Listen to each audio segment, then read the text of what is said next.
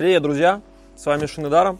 Пишем для вас небольшой обзорчик на колеса свежие модели Митоса, ну как свежие, 19 года. Митос решил переделать всю линейку, можно сказать. Куча моделей ушла с производства. Про что сегодня хочется рассказать? Это MXMH и MXSM. Что такое MXMH? Это у нас Medium и hard, средний и твердый грунты. Что такое MXSM? Это soft и medium, то есть мягкий и средний грунт. Что по ним можно рассказать? Если просто визуально, покрышки достаточно похожи друг на друга. Из отличий. На MXMH мы видим более жирные шипы, грунтозацепы. На боковых грунтозацепах присутствуют углубления, то есть крайний ряд и ряды ближе к центру. Здесь присутствует у нас углубление в центре шипа.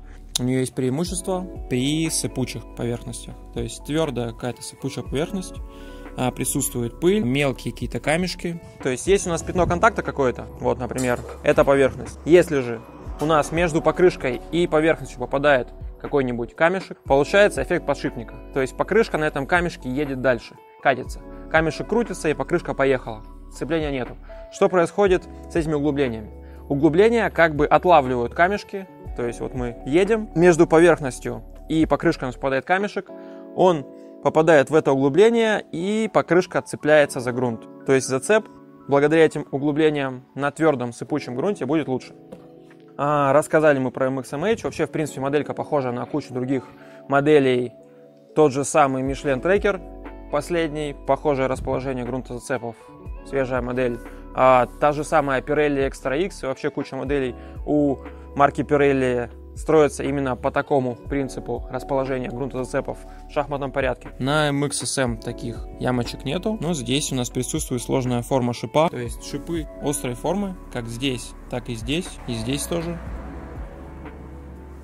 улучшают сцепление и улучшают зацеп на мягком грунте и на жиже. MXSM. Эта покрышечка у нас рассчитана на мягкий грунт и на средний грунт. В чем еще у нас основное отличие MXSM от MXMH? На MXSM у нас грунтозацепы расположены рядами, и между ними есть вот такое вот большое пустое пространство. На MXMH грунтозацепы расположены все в шахматном порядке, и большого расстояния, как на MXSM, на MXMH нет. То есть есть здесь вот пустое место, здесь пустое место, ну и дальше.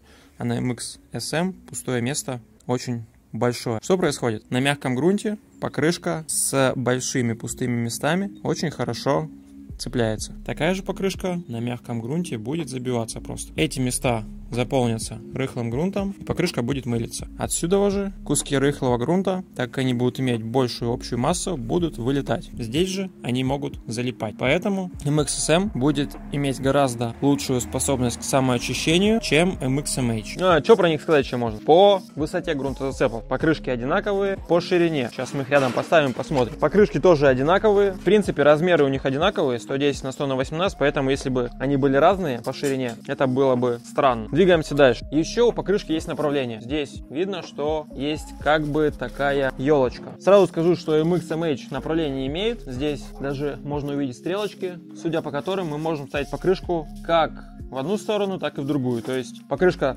стояла в одну сторону, чуть-чуть подработалась, грани у нее стерлись, мы ее переворачиваем и погнали кататься на ней в другую сторону, и зацеп будет такой же хороший. На MXSM такое дело не прокатит, потому что покрышка направленная. То есть есть здесь стрелочка с надписью Rotation. Rotation это значит вращение. То есть мы ставим стрелочками по направлению вращения. Можно подумать, что елочкой вперед, но нифига не так, елочкой назад. То есть покрышка будет загребать. Вот так вот она будет делать загребать. Как лопастью будет она работать. Так вот, в общем видно, да, отличие MXSM и MXMH. Мягкий средний грунт, средний жесткий грунт. Все любили покрышку C20 от Митоса, вот собственно MXMH это ее замена. MXSM тоже заменила нас кучу моделей, C12, C18 и прочие. Для наилучшего понимания мы возьмем сейчас что, пару колес. Есть у нас вот такой данлопчик, это MX71. Здесь тоже у нас присутствуют ямочки на грунтозацепах. Если сравнивать эти два колеса, то боковые грунтозацепы на 71 расположены более часто. В центре примерно расположение похоже. И насыщенность шипами на 71 покрышке от Dunlop немного более плотно. Дальше. Еще у нас вот такой вот гость для обзора появился. Это Dunlop MX 12. Покрышка создана для мягкого грунта, для песка, для грязи. В простонародье ее называют лопатой. Она совершенно голая, излючая. То есть здесь большую часть у нас занимает пространство между лопатками. То есть вот она пошла лопатка, которая хватает грязюку или песок. И большое расстояние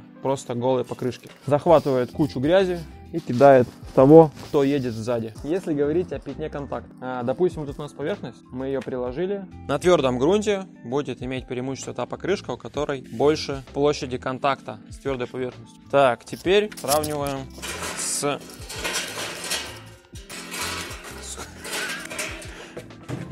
Все руки уже в этом дерьме. Короче, на покрышках есть какой-то консервант, который разъедает руки. Вот, у меня уже разъедает. Такой же пример. То есть, что будет, если мы будем кататься на такой покрышке по твердому грунту? Зацепа ни хрена нету, потому что пятно контакта будет вот.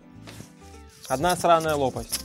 Узенькая она очень. И она просто будет делать вот так вот, буксовать. Зато на мягком грунте она будет вгрызаться и просто адски цепляться. Что будет с покрышкой для твердого грунта на мягком грунте и на грязи? Она просто забьется. То есть грязь залепит вот эти вот расстояния и покрышка замылится. Она превратится в слик. Грунтоцепов вообще не будет. Будет просто сплошная грязь здесь. Ну что, друзья мои. Dunlop MX71, Mitas MXMH, Mitas MXSM и Dunlop MX12 желают вам приятного вечера. Подписывайтесь на канал, ставьте лайки.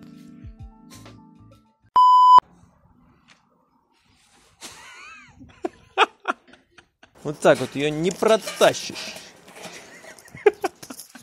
Ну, красивая, правда? Хочу с ней сфоткать. Готово? Отлично. Стоять! Не дали? Слушается. Где мой план?